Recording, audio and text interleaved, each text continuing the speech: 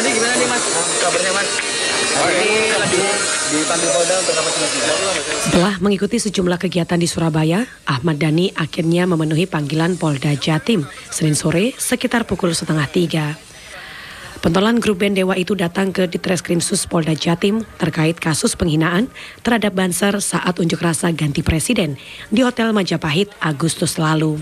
Didampingi sejumlah simpatisan dan kuasa hukumnya, Ahmad Dhani langsung memasuki ruangan penyidik. Penyidikan diperkirakan akan berlangsung hingga beberapa jam ke depan.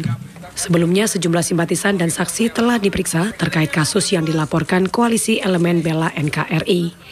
Dalam kasus ini Ahmad Dhani dilaporkan melakukan ujaran kebencian terhadap Banser dengan kata-kata yang tidak pantas. Yusman Nawindarto, CTV.